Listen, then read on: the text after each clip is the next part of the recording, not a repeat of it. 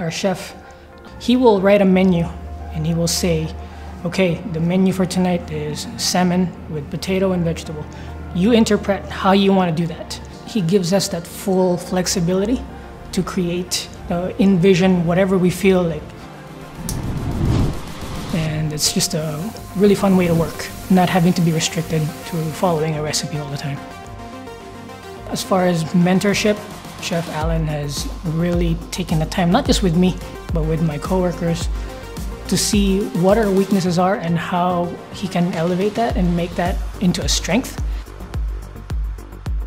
I would put up the food that we make here against anybody in the industry and comfortable that we will stand up to what they make. Having a rewarding culinary career is not just working in a five-star hotel.